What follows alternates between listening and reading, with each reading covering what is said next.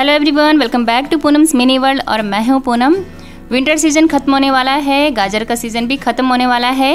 तो आज मैंने बना लिए हैं गाजर के मालपुए।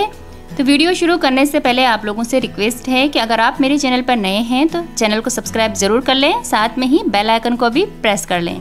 तो चलिए स्टार्ट करते हैं। ये मैंने एक ग्राइंडिंग जार लिया है, उसमें डाल दी है कुछ कटी हुई गाजर। दो मीडियम साइज़ की गाजर थी ये। इनको कट कर लिया है, थोड़ा सा पानी मिक्स कर लिया है तो ग्राइंड कर लेते हैं। ये इसका स्मूथ बैटर बन गया है पेस्ट बन गया है फाइन पेस्ट बन गया है।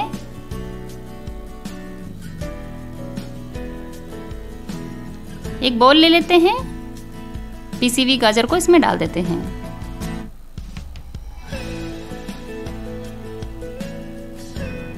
चार चम्मच डाल देते हैं, सूजी।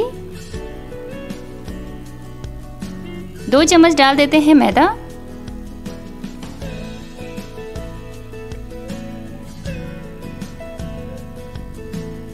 थोड़ा सा डाल देते हैं ग्रेट किया हुआ सूखा नारियल।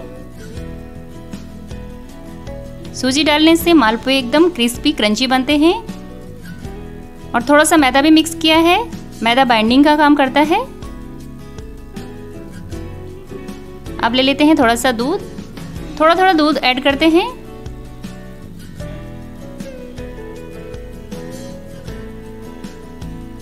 मिक्स कर लेते हैं। इसका एक बैटर बना लेते हैं, स्मूथ सा।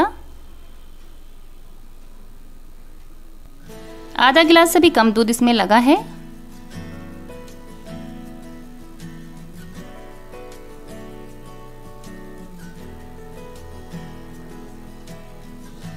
अच्छी तरह से चला लेते हैं।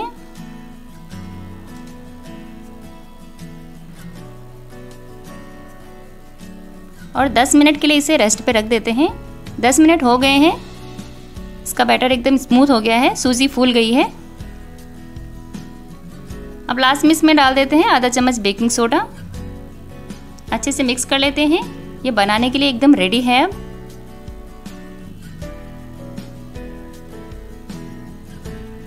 तेल गरम कर लेते हैं। गैस की फ्लेम को मीडियम रखा है।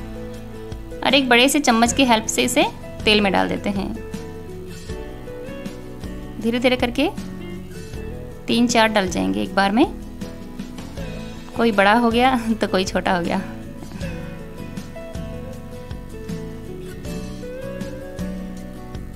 तेल में जाते ही एकदम फैल जाते हैं बड़े बड़े हो जाते हैं, फूल जाते हैं।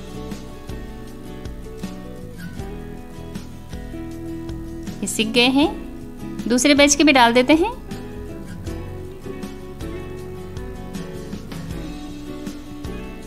इनको भी मीडियम फ्लेम पे सेक लेते हैं। बहुत जल्दी सीख जाते हैं।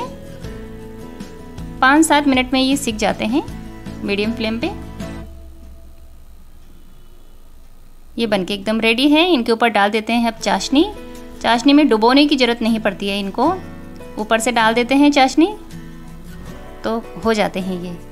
तो वीडियो पसंद आया हो तो वीडियो को लाइक ज़रूर कीजिए, चैनल को सब्सक्राइब भी कर लीजिए। मिलते हैं नेक्स्ट वीडियो में, तब तक के लिए बाय बाय।